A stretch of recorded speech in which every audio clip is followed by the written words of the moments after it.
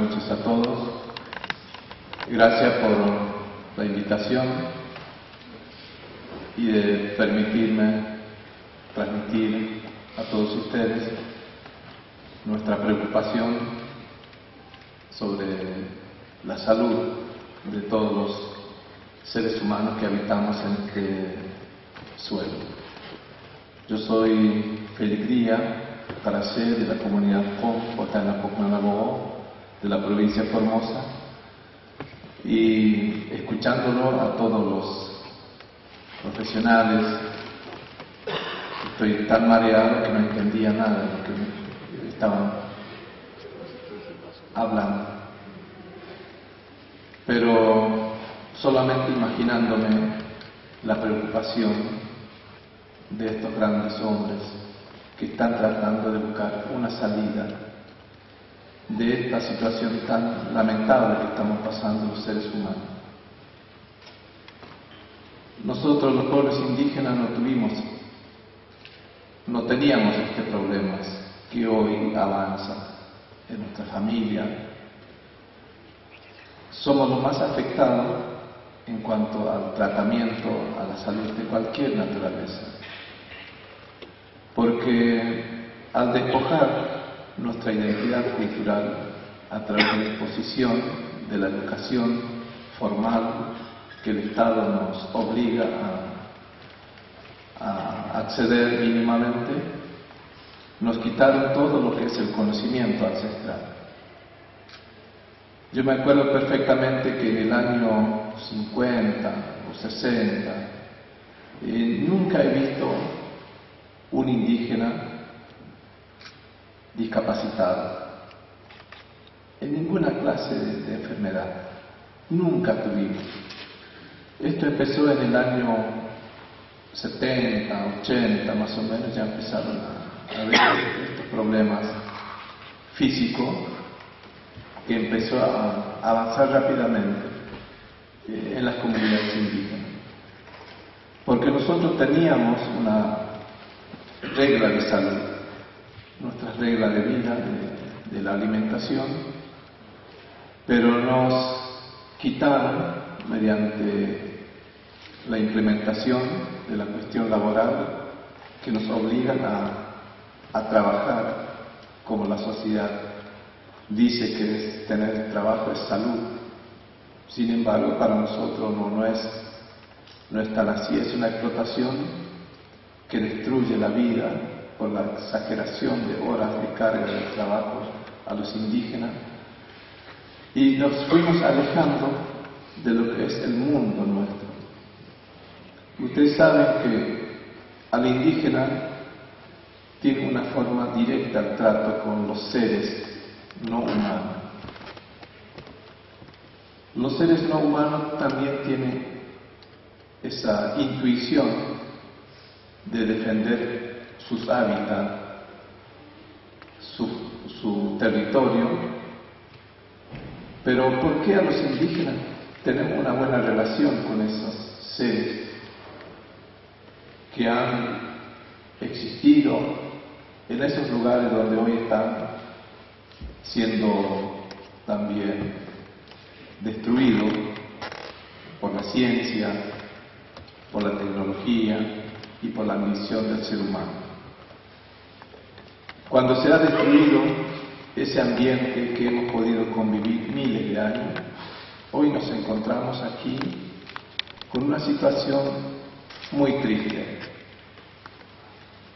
Nosotros no vemos la hora de que nos miren como ser humano, de que nos traten como argentinos, que nos miren como ciudadanos, nos sigan mirando como parte de esa bestia que viven en el campo, sin derecho, sin justicia, sin territorio, sin libertad.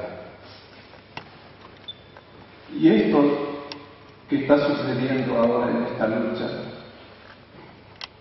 que por suerte conocí a este gran hombre, Andrés Carrasco, que charlé unos 20, 30 minutos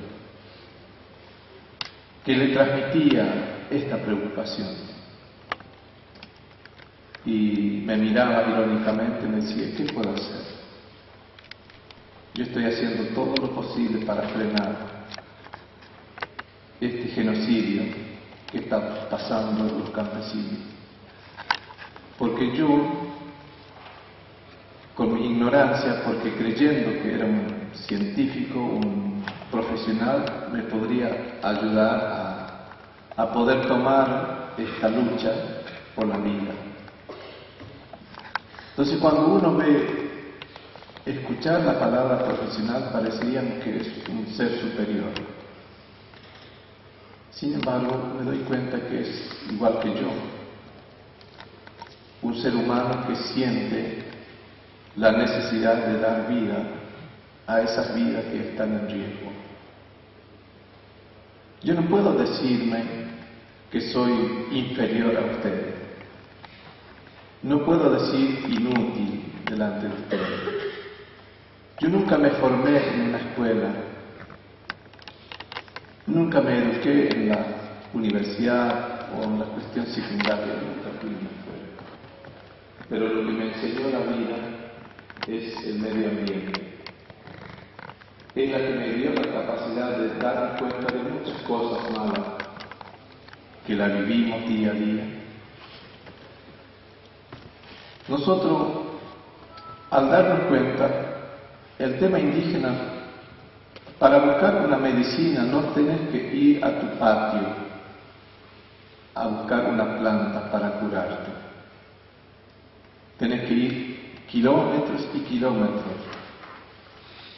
Porque esa planta que no tiene contacto con el ser humano es la mejor. Si está en el agua, en el monte, en el campo, pero hay que buscar porque tiene ese poder que te puede salvar. Porque nosotros los seres humanos somos tan irresponsables de creer que somos dueños pedazo de terreno. Las mujeres indígenas cuando van en busca de sus alimentos no van ahí a dos cuadras. Ellas caminan 10, 20, 30 kilómetros para buscar una chaucha de algarrobo, para buscar materia prima para la artesanía. No van a, ahí cerquita, porque saben que esa materia prima que trae es para poder dar vida a las demás personas. Al reducir el territorio ya uno se siente obligado a romper esas reglas que tiene el indígena de ir a buscar las mejores cosas. Porque si salís a tu límite territorial, ahí te encontrás con esa arma de fuego que te está esperando por meterse en una propiedad privada.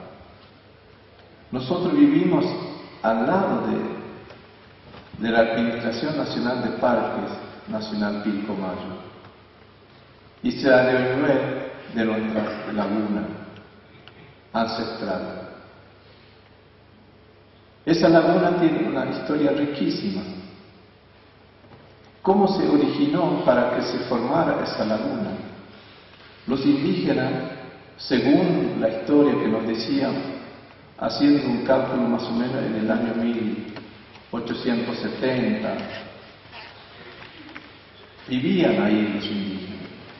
Había una escasez de, agua y había un anciano que fue abandonado en su rancho familia tenía que buscar alimento y agua y tenía que ir al Pilcomayo varios días y este anciano no sabía qué hacer se fue arrastrando una distancia de un kilómetro donde sabía que había un pozo hecho por la familia. Como no tenía una soga para sacar agua, no tenía balde, se tiró. Y de ahí empezó como a ver como una explosión de las venas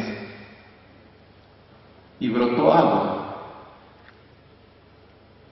Y se llenó toda esa parte baja de lo que hoy es Laguna Blanca.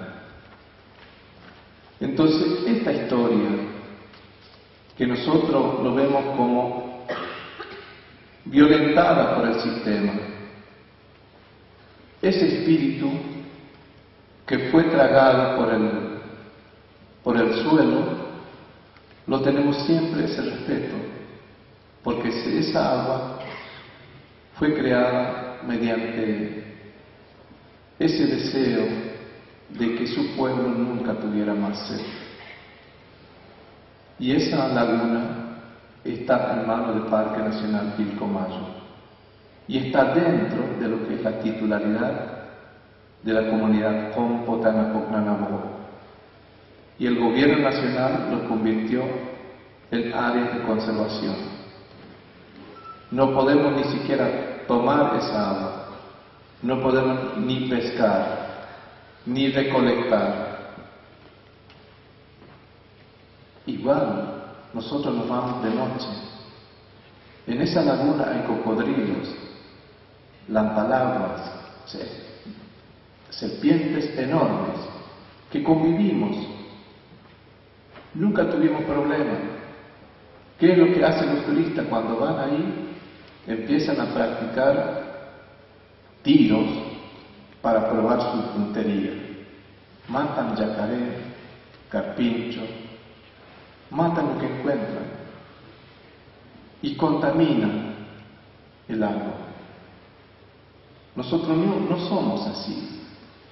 Pero cuando nos dicen que somos los salvajes, que no sabemos respetar al ser humano, cuando nos dicen que nosotros no sabemos nada, porque creen que por tener el dinero, por tener ese conocimiento intelectual, se creen inferior o superior.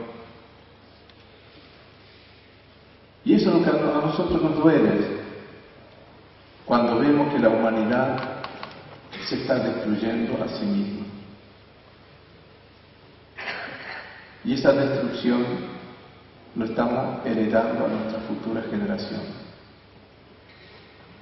No estoy perjudicándome a mí, le estoy dejando herencia a lo que yo digo, amo a mis hijos, amo a mis nietos, y sin hacer nada, para que puedan heredar un mundo sano un mundo con esperanza, un mundo con más humanidad, donde puede reinar la paz. No puedo mirar a otro lado. Yo vivo en la calle, no tengo hogar. Mi familia se ha destruido, pero no pierdo la esperanza de que este mundo tiene que cambiar no es necesario tener un título para hacer algo. No es necesario tener mucha plata para hacer algo. Hay que estar seguro de que la vida vale más que cualquier cosa. Nosotros no somos cualquiera. Somos seres creados para poder dar equilibrio a este mundo. Tenemos que ser conscientes de que la responsabilidad es nuestra, de cuidar nuestro ambiente, cuidar nuestra madre tierra, cuidar a nuestros semejantes. Porque ¿de qué sirve dar espalda a un amigo, a un vecino? No me soluciona el problema. Pero cuando doy una mano, a esa persona que necesita, sí me va a servir. Porque en el, momento que necesito, puedo acudir y sé que me va a dar una mano. Este mundo necesita hombres y mujeres que valoren la vida, para que podamos convivir en paz en este mundo. Porque si nosotros no hacemos nada, ¿qué esperanza de un mundo mejor queremos? Yo quiero que todos los profesionales que se encuentran acá sigan trabajando, sigan fortaleciendo ese conocimiento científico para que podamos trabajar juntos. Porque la vida no vale ni un centavo. La vida es la vida y es sagrada. Todo lo que hay en el mundo son seres vivos. El aire, el agua, la montaña, las plantas, todo necesitan vivir. No es solamente los hombres y las mujeres tienen la posibilidad de tener una vida digna. Cada ave necesita un territorio, una hormiga, cualquier insecto, porque fueron creados para dar equilibrio al mundo. No fueron creados accidentalmente. Son seres que pueden dar vida a este mundo, pero si no cuidamos nuestro ambiente, ¿qué esperanza podemos tener? ¿Qué esperanza le podemos dejar a nuestra generación? Yo soy un indígena que sueño y aspiro ver a una futura generación con más unidad, con más humanidad. Yo cuando recorría en el mundo soñaba ser maestro y mi aspiración ser enfermero. Esas son dos cosas que para mí eran importantísimas, porque tenía muchas ganas de enseñar a mis, a mis niños y a mis jóvenes lo que es nuestra cultura, porque yo quiero valorar esta historia que hoy estoy compartiendo, esa historia de ese anciano que dio su vida para poder dar agua a su pueblo. No es que lo tiraron, él mismo rogó, según la nieta que contaba, que se fue arrastrando porque él quería tener esa posibilidad de dar agua a su gente. Y esa es la laguna blanca que el gobierno de Formosa nos arrebató en el año 2007.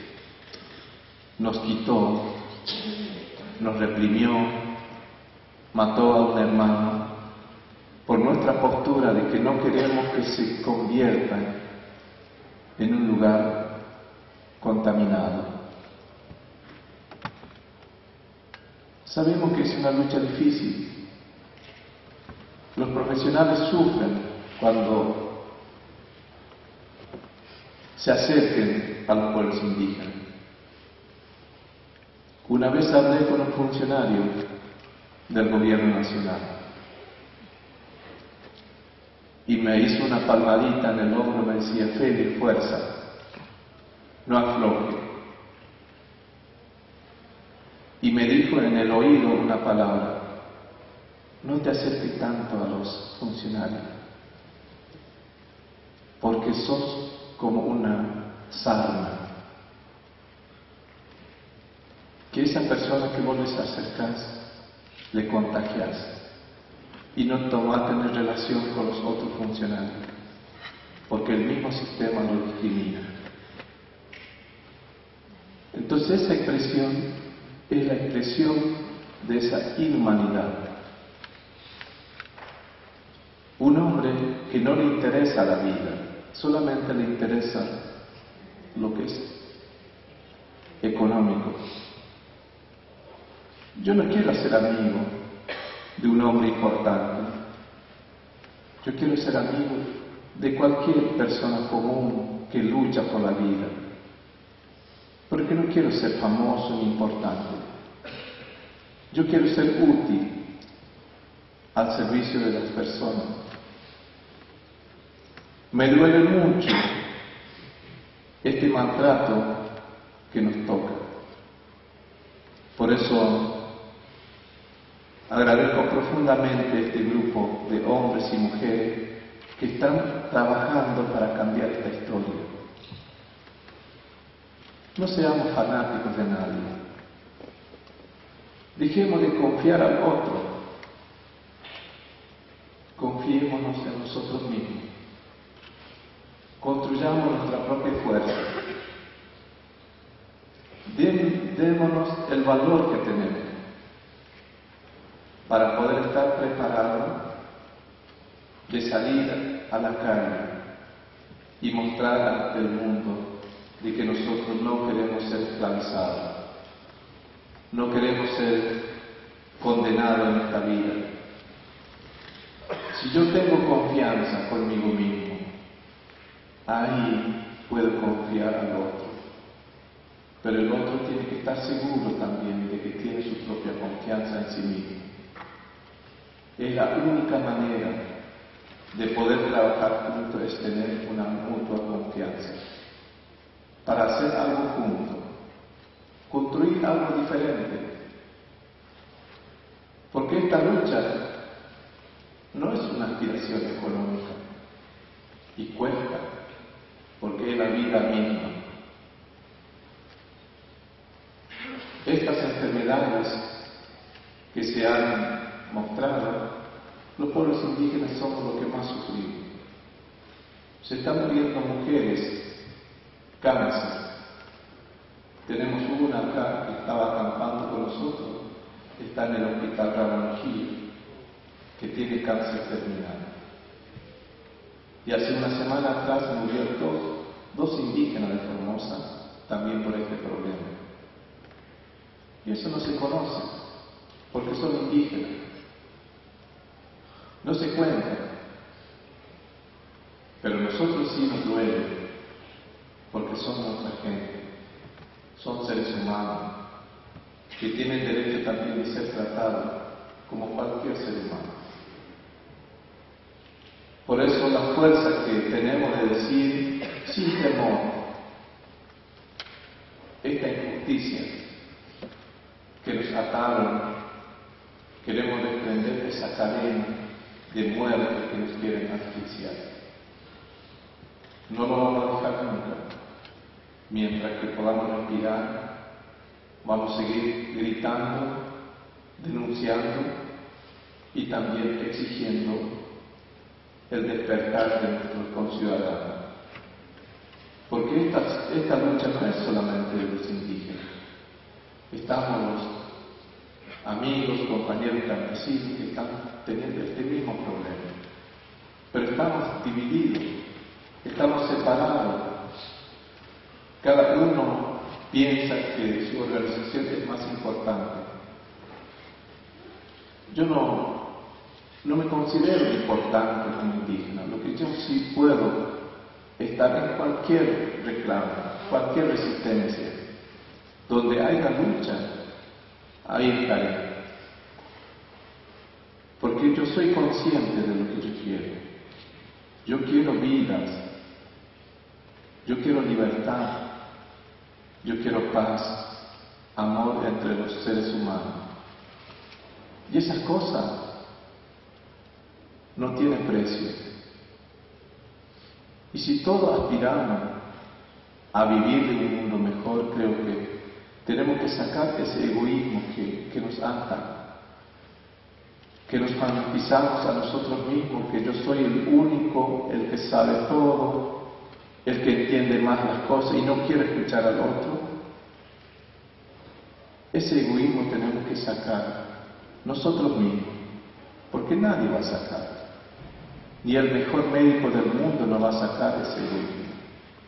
Nosotros tenemos que trabajar para sacar y volver a ser humano y sentir el dolor del otro, entender el dolor del otro. Eso es lo que nosotros queremos. Me gustaría, si la doctora me puede facilitar la carpeta, por favor.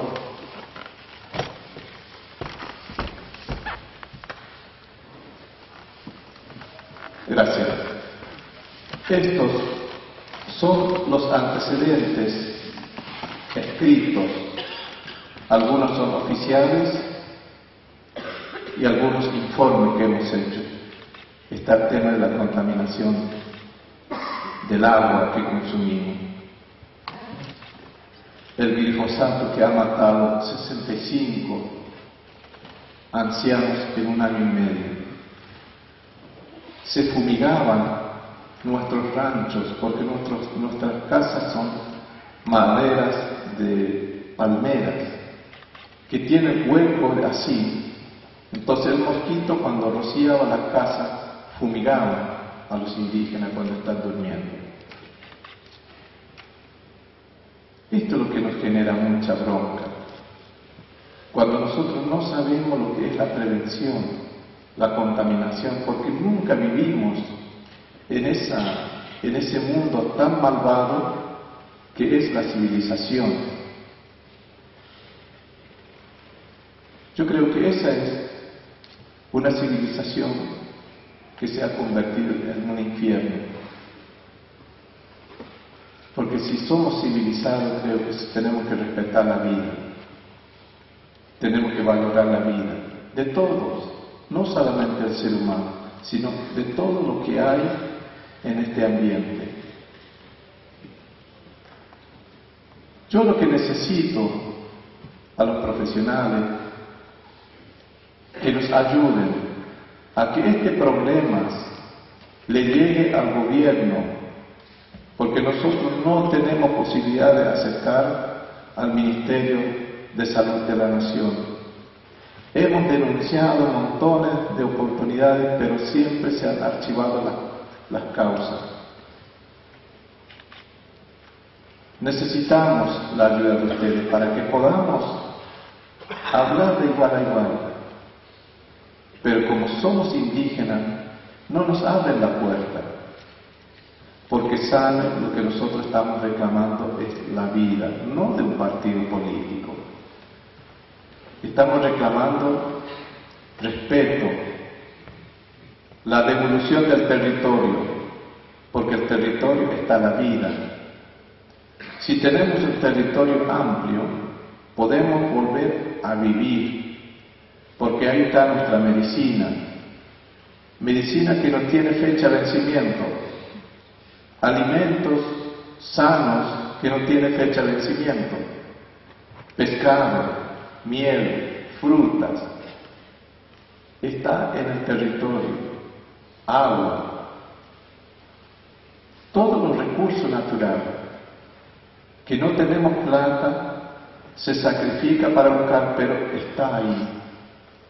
Si no tenemos esto, pasó la imagen del Carcito Sánchez, se muere por desnutrición, porque los padres no pueden encontrar trabajo, porque los campos locales no toman mano de obra pero ocupa inmensa cantidad de tierra y nos mata a nosotros. Por eso es como estar acá, no sé si me han entendido lo que estoy diciendo. Si no me han entendido, ojalá que, que pregunten sus corazones. Porque estas cosas no están en la mente, está en el corazón. Cuando uno, ser humano, siente algo que es real, lo puedo vibrar en su corazón. Agradezco profundamente por esta invitación y por la oportunidad de hablar en medio de los profesionales. Me considero como un privilegiado entre ustedes, un humilde indígena que quiere que el mundo se prolongue, que las aguas no se contaminen, que el aire no se contamine, que no se siga desmontando, que no se siga expulsando campesinos e indígenas, que no se siga abandonando personas por ser pobres. Ese es un deseo de un líder indígena que necesita un país nuevo, un país con más humanidad, que, tenemos que construir algo nuevo. Cuando yo escucho de lo que es la cuestión de la soberanía alimentaria, muchas veces me pregunto, ¿qué es esa palabra? Cuando empezamos a, a escuchar muchas cosas difíciles de entender, hasta las comidas orgánicas. Yo siendo indígena, trabajaba en una granja que elabora estos alimentos naturales. Y no es el pobre el que se beneficia. Estos alimentos compran los mismos empresarios ojeros para alimentarse de la mejor producción del campesino. Y el pobre no puede comprar porque no tiene plata. Es el mismo, es el capitalismo, pero se convierte en otra forma de, de querer engañar al mundo. El alimento tendría que ser accesible para todos. Que no tenga una calidad por, por el costo económico. Podemos hacerlo si, si nos dejan hacer. El Estado tiene que ser el que garantizaría ese desarrollo que necesita. Me siento como emocionado de poder escuchar a cada uno de ustedes por la preocupación, por esa búsqueda de una vida más sana. Nosotros ya no tenemos acceso a la salud, por lo costoso que es ir al hospital, tener que pagar el pasaje, no tener turno, tener que volver, te dan una receta, tienes que comprar medicamentos. Pasa la elección, tienes que mendigar. La vida no es propiedad de nadie. La vida es la vida. Por eso, señores profesionales, quiero agradecer a cada uno de ustedes por la entrega que están haciendo. Y les, pido que sigan esforzándose, no aflojen, no nos dejen solos, trabajemos juntos, que tenemos que lograr ese objetivo de dejar a nuestros seres queridos un mundo sano, que podamos convivir en paz Podemos dialogar sin miedo, sin tener que ocultarlo. Es lo mejor que puede suceder en este mundo. No quiero que me vean como un extraño. Me gustaría ser parte de ustedes. Pero si ustedes me permiten, con gusto les ayudaría y que ustedes nos ayuden a salir de ese egoísmo que nos divide. Muchísimas gracias por este espacio. Esta carpeta, no sé a quién le dejaría para que se pueda revisar que, que ustedes son profesionales y saben dónde canalizar. Muchas gracias, Señor.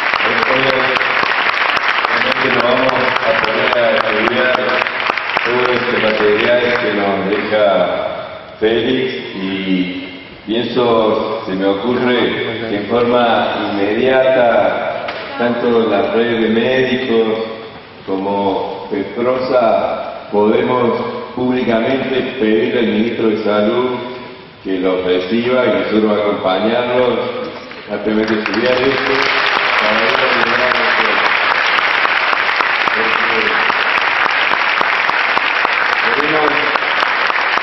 yo, yo quiero expresar